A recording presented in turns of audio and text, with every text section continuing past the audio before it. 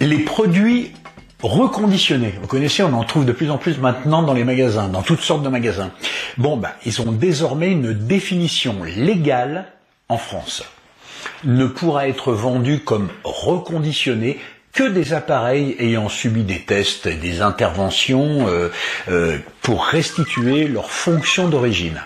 Voilà, les termes euh, à neuf, comme neuf, tout ça, c'est proscrit, c'est terminé, ils ont plus le droit. faut que ça soit reconditionné. T'entends, chérie? Je suis désolé. Hein ah bah, il va falloir que tu dises que tu es reconditionné. Hein Depuis que t'as fait ta chirurgie esthétique. Oula. Non, t'as pas été remise à neuf, non. Oh non. Reconditionné. C'est la loi.